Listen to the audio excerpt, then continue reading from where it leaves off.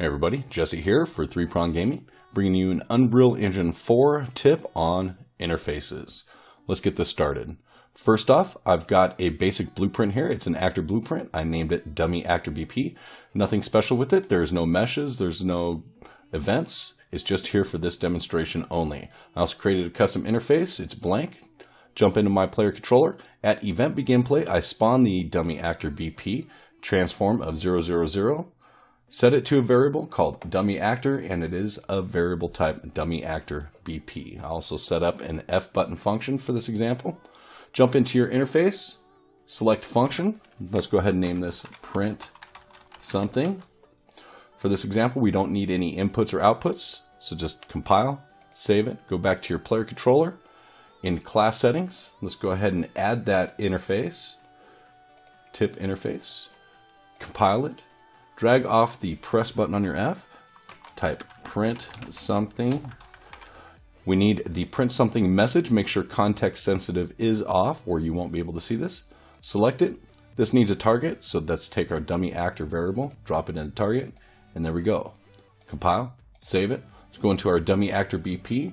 Again, under class settings, implement the interface, click add, select tip interface, compile it, save it, right click, type print something. This time we need the add event. Click that. Make sure it says from tip interface. Drag off this, type print string, and we will select this and put this is from the dummy. Compile, save it, play. We press F. You can see this is from dummy. Let's jump on to the next example.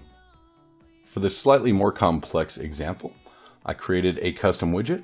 All I did was put a button down here, threw some text on it called print something. I also created an on-click event for that button.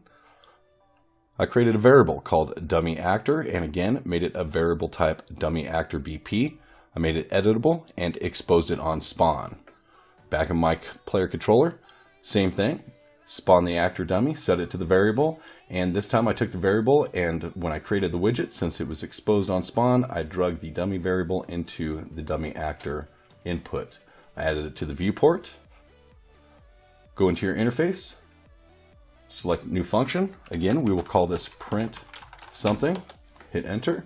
This time we will use an input, go ahead and select new. We will name this string and make sure it is a variable type string compile, save it, go back into my widget on the on-click event, go ahead and create a new variable type. Let's call this one again. We'll call this string. Make it a variable type string. Compile it. Let's set the string default value to this is from the widget.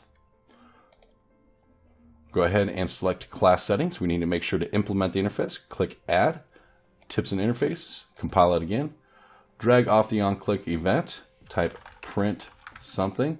Again, make sure context sensitive is off. Select print something message. Put it in there. We need a target. Select your dummy actor. Drop it in target. Grab your string. Let's throw it into the string there.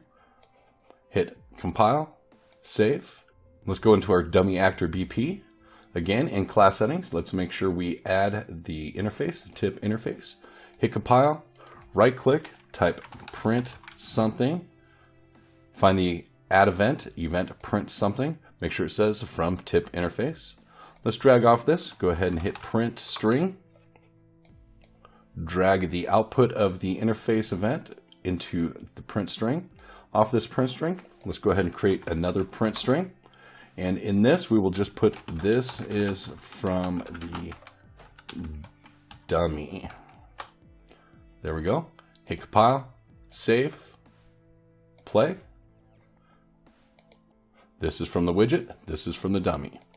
There we go. I hope you guys found this tip useful. If you did, please do me a favor, go down, hit that like button. If you're new to the channel, go ahead and hit the subscribe button as well. I've got other tips coming up.